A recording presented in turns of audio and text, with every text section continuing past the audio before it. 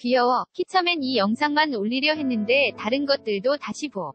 다 보니 또 재밌다. 며칠 전부터 계속 머릿속에 떠올랐었다.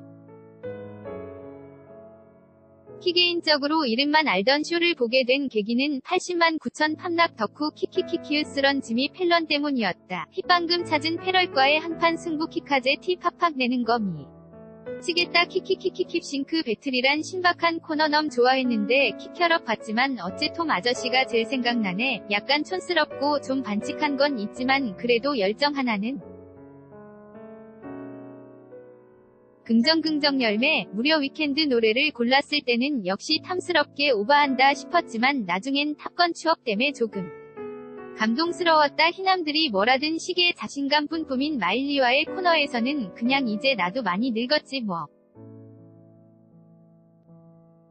하는 느낌도 있고 희사실 이 아저씨도 통 못지 않았는데 세월에는 장사 없다고 히하 맞다 이걸 잊음 안되지 전설의 영상 키컨곡도 좋아하지만 너무 웃겼다 진짜 마지막.